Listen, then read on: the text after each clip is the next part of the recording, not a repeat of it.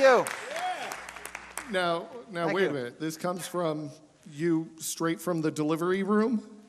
Uh, oh, no, easy mistake. I, uh, no, I actually just came uh, from Disneyland. so, nothing there. Sorry. I don't want to get Easy measles. mistake, though. Easy mistake.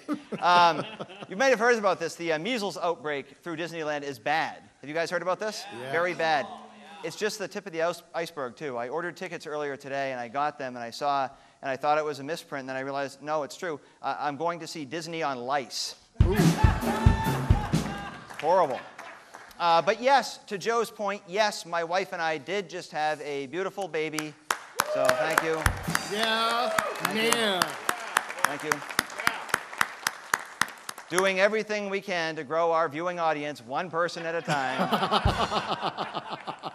um, our oldest daughter wanted to name the new baby after her favorite talk show host, which I thought was sweet. So Aw. our baby's name is Arsenio. Son of a. Yeah.